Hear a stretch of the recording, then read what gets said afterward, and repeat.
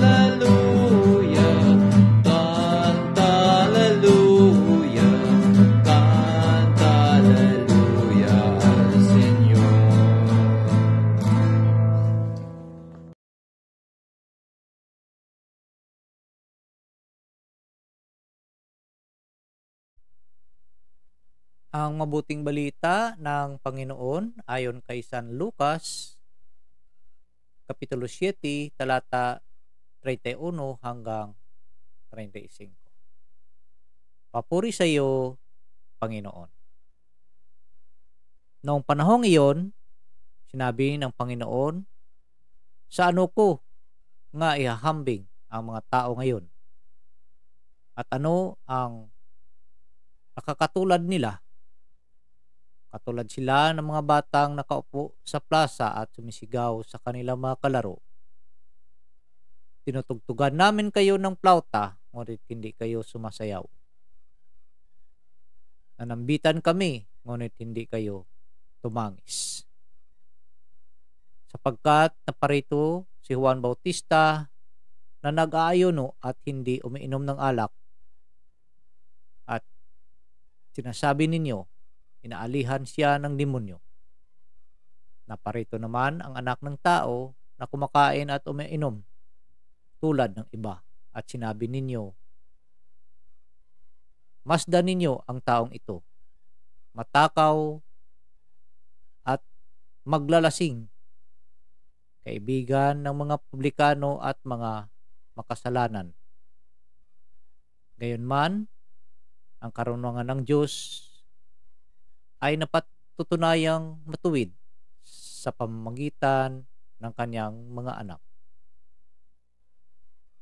Ang mabuting balita ng Panginoon. Pinupuri ka namin, Panginoong Heso Kristo. Isang mapagpalang Miyerkules po sa ating lahat at uh, una-una po sa lahat, uh, first of all, ako po ay nagpapasalamat sa ating po may kapal sa pagkakataong ito na binigay niya po sa atin upang tayo po ay makapagbahagi at uh, makapag-nilay ng kanyang mabuting balita. At uh, ako rin po ay nagpapasalamat sa lahat nating na mga nasugid na mga taga-subaybay sa ating munting channel na ito, ang Prism Plus.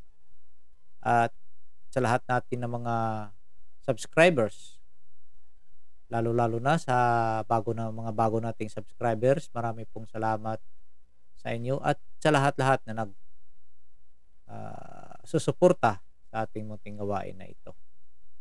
So mga kapatid, uh, sa pagkataong ito, ibibigay ko po sa inyo si uh, Pisma Rex sa pagdala sa atin ng words of our Holy Father Pope Francis. Ito po at uh, pakinggan po natin siya.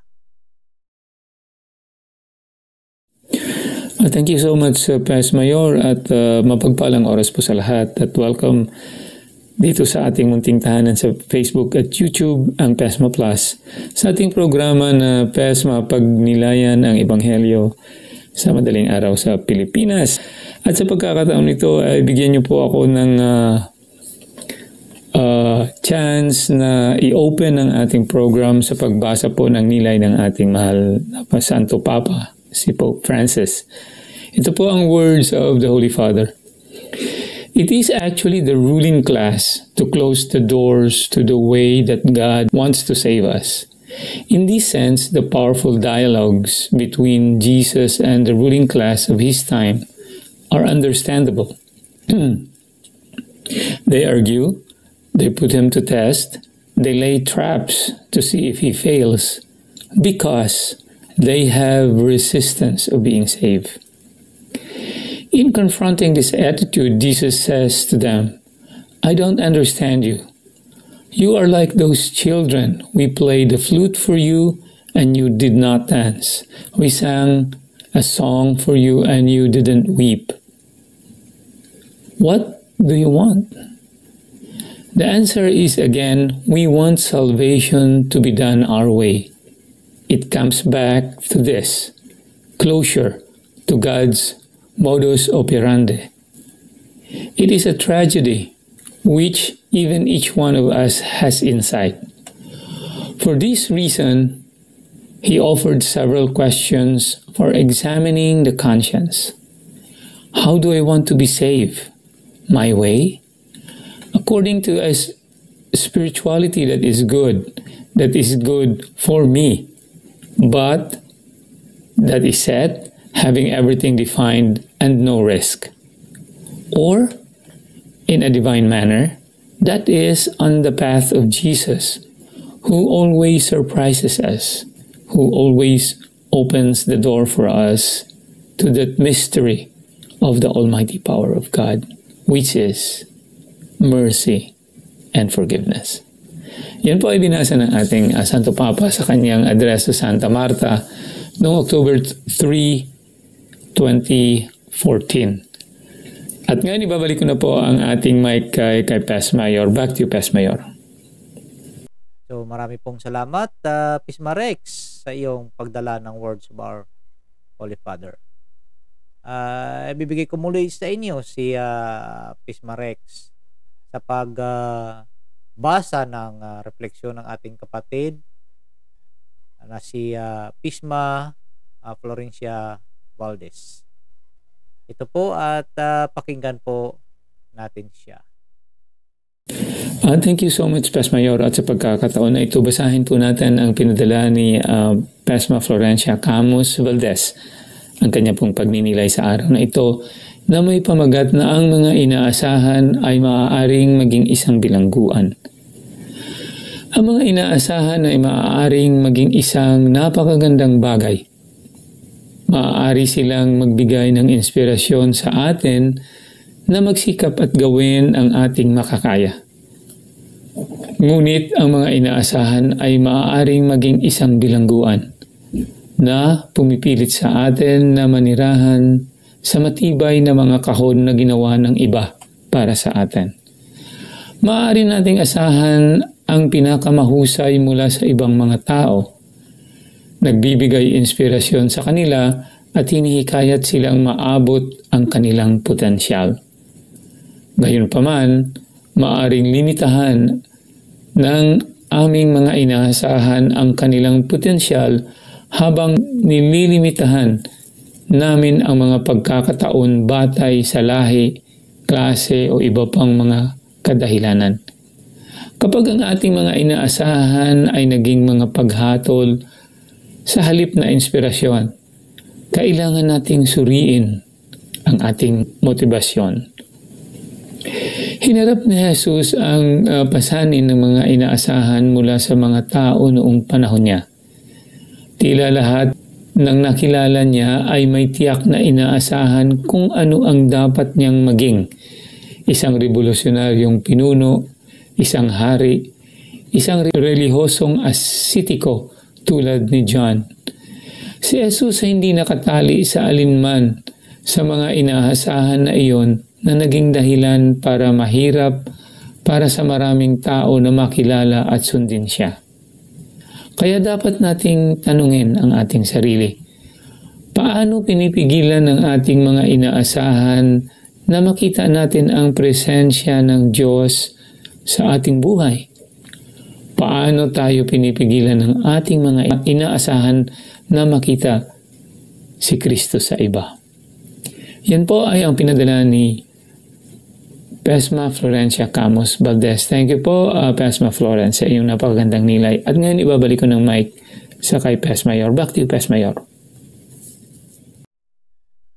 So marami pong salamat muli, uh, Pisma Rex, sa iyong pagbasa ng refleksyon ng ating kapatid. At marami ding salamat, uh, Pisma Florence, sa iyong walang sawang uh, pagpadala, uh, pag-share ng iyong refleksyon sa salita ng ating Panginoong Heso Kristo. Sa pagkakataong ito, ibibigay ko po sa inyo si uh, Pisman Nacy sa kanyang reflection din. Ito po at uh, pakinggan po natin siya. Hello po, brothers and sisters in Christ. At nandito na naman tayo sa ating pagninilay sa araw ng Miyerkules. At sa ating gospel ngayon, ito ay mga tanong ni Jesus. Sino ang katulad nila? Kung tayo ang tatanungin sa mga tanong na ito, ano kaya ang ating maisasagot? Lahat naman tayo ay may kanya-kanyang kasagutan. Ito ay mailarawan natin ang nasa lansangan na mga tao na sila'y humihingi din ng awa sa ating gobyerno na sila'y kaawaan din na humingi ng tulong na sila'y tulungan. Maalala natin si Jesus na siya ay napako sa krus. Siya ay nakaramdam ng uhaw. Humihingi siya. Binigyan ba natin siya ng tubig? Nagugutom siya, binibigyan ba natin siya ng pagkain? Siya ay walang damit, binibigyan ba natin siya ng damit?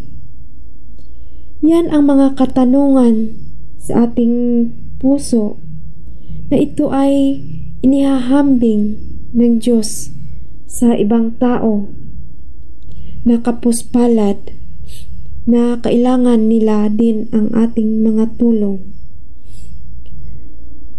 Ang kaisa-isang anak ng Diyos ay naparito siya upang lumapit ang mga tao sa Kanya at ganun din siya na makakahulubilo niya ang mga tao sa mga kasalanan, uminom at nakikisalo sa lahat. Tayo din, pinakita din natin sa ibang tao ang awa na sila'y kaawaan din kung ito lumalapit sila sa ating bahay at humihingi ng tulong na humingi ng pagkain, tubig at damit, binibigyan natin sila. Alang-alang sa pag-ibig natin sa kanila. At awa. Ganon pa man, si Juan Bautista, isang propeta at kilala natin na isang banal na nag-aayuno, hindi umiinom kahit anong alak at ganon din ang ang mga tao sa panahon ni Moises, Abraham, at Jacob na sila'y nag-aayuno din sa harap ng Diyos. Ang mahalaga tayo ay nagkakaisa sa harap ng Diyos ng may pananalig at may pag-asa sa pag-ibig ni Kristo Jesus. sa ating sarili na tayo ay konektado sa Panginoon at gumagawa ng kalooban niya. Naway pagpalain po tayo ng magpapagmahal at makapangyarihang Diyos ngayon at magpakailanman. Amen. At yan po ang aking reflection ko sa araw na ito. Maraming salamat po sa lahat. Pisma Plus and God bless everyone. Maraming pong salamat, uh, Pisma Nacy. At this time also, I'll give you or babasahin po natin ang refleksyon ng ating kapatid na si Brother Eduardo. Ito po at atin na pong uh, babasahin. Mapagpalang araw mga kapisma at sa lahat ng bumubuo ng channel na ito. Ang nilay ko ngayon ay tungkol sa pagiging palalo ng mga eskriba at paresiyo na sinulat ni San Lucas sa Kapitulo 7, versikulo 31 hanggang 35. Isa sa pinakaayaw natin sa lahat ay ang tayo'y pagsabihan lalo na sa ating mga kamalian, maliit man o malaki. Palagi tayong naghahanap ng mga dahilan para takpan ang ating mga tenga at baliwalain ang mga payo at mga puna. Sa halip ay sinusuklian pa natin ng mga negatibong kilos ang mga taong nagpapayo at nagmamalasakit sa atin. Ganito rin ang nangyari sa Ebanghelyo natin ngayon galing ni San Lucas. Bago pa man nagsimula si Jesus sa kanyang ministeryo, ay nauna na si San Juan Bautista sa pagsaway sa mga baluktot na gawain ng mga tao sa kanilang bayan. Sa katunayan, ito ang naghatid sa kanyang kamatayan sa kamay ni Herodias at Herodes na palagi niyang pinupuna sa malaswa nilang mga gawa. Sumunod kay Juan ay ang ating Panginoong Hesus. Magkaiba ang ugali ng magpinsan na ito. Si Hesus ay kabaligtaran ni Juan kung si Juan ay mapag-isa, si Jesus ay panlipunan ang pagkatao niya.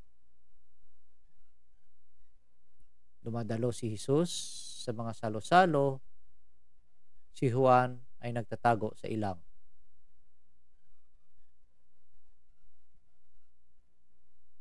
Pero kung anuman ang ugali o kaibahan ni Jesus at Juan ay walang kinalaman ito sa mangyayaring pagbabago ng mga tao at kanilang pinupuna.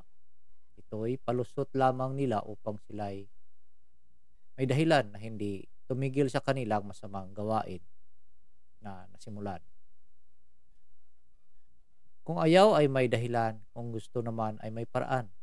Pride o ang pagiging mapagmataas ang siyang nag-uudyok sa atin upang gumawa ng dahilan.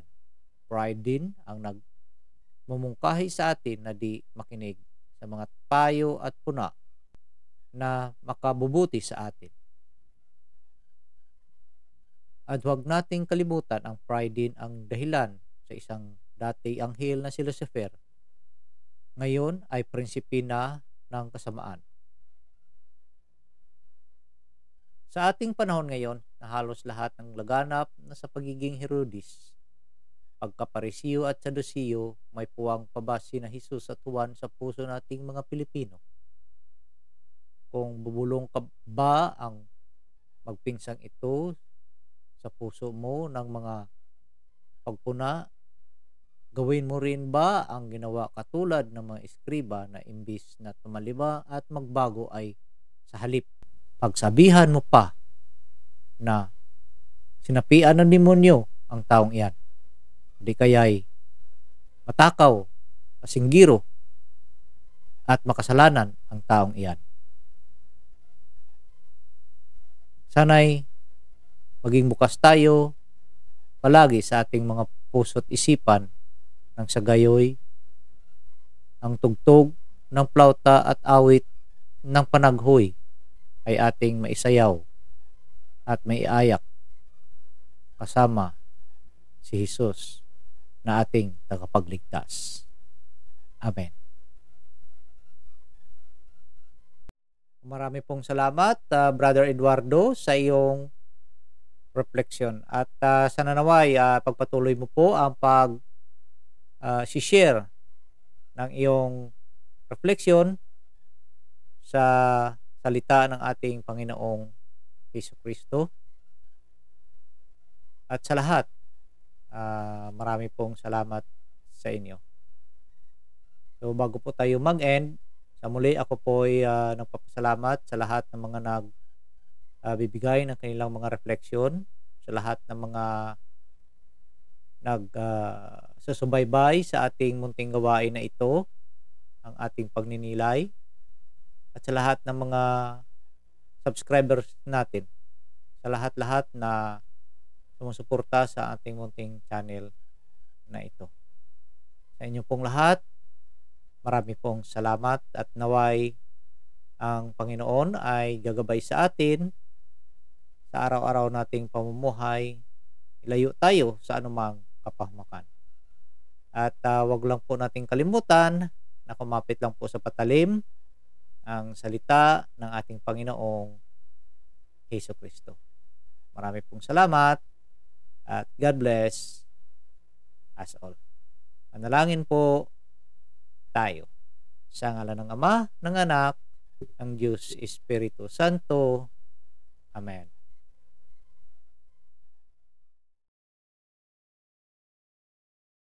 Música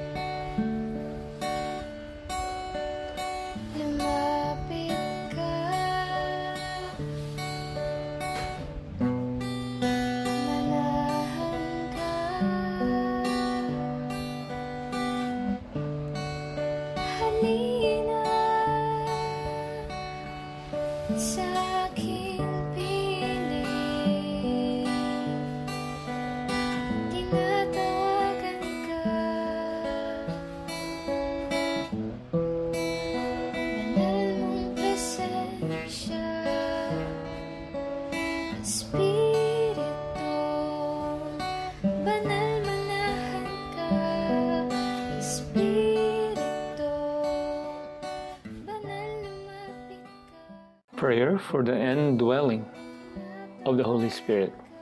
In the name of the Father, and of the Son, and of the Holy Spirit. Amen.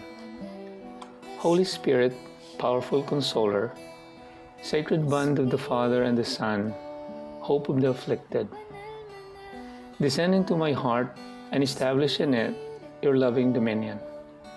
Enkindle in my tepid soul the fire of your love so that I may be wholly subject to you. We believe that when you dwell in us, you also prepare a dwelling for the Father and the Son. Deign, therefore, to come to me, consoler of the abandoned souls and protector of the needy. Help the afflicted, strengthen the weak, and support the wavering. Come and purify me. Let no evil desire take possession of me you love the humble and resist the proud. Come to me, glory of the living and hope of the dying. Lead me by your grace, that I may always be pleasing to you. Amen. In the name of the Father, and of the Son, and of the Holy Spirit. Amen.